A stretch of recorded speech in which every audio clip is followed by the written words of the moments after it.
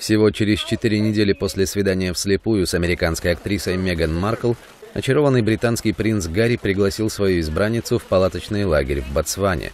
Там они смогли узнать друг друга лучше и завязать отношения. Об этом пара рассказала в интервью вскоре после своей помолвки.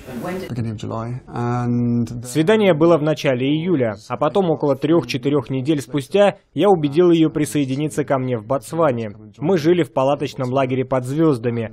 Она пробыла со мной пять дней, и это было просто удивительно. Мы были наедине, и это был отличный шанс узнать друг друга лучше. 33-летний внук Елизаветы II, пятый в очереди на престол, сделал предложение 36-летней Маркл в прошлом месяце в Лондоне. Она известна по своей роли в телесериале «Форс-мажоры». Это произошло несколько недель назад, здесь, в нашем коттедже. Это был обычный вечер. Это был приятный вечер, мы жарили курицу. Пытались жарить курицу. Да, пытались, и он преподнес мне большой сюрприз. Это было мило, естественно и очень романтично. Он встал на одно колено. Впервые на публике пара появилась в сентябре.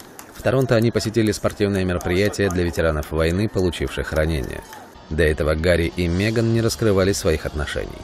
При этом вписать их в насыщенный график публичной жизни было непросто.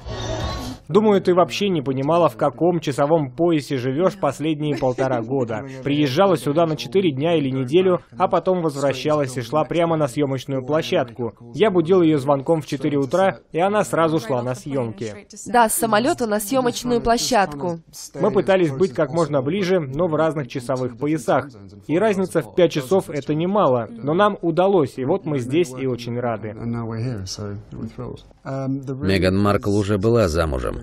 Детей нет. Примечательно, что ее отец белый, а мать афроамериканка. Жители Нью-Йорка рады помолвке. Я в восторге, американка. У них будут черные дети, просто фантастика. Гарри немного отставал от своего брата, тот уже женат с детьми, так что я очень рада.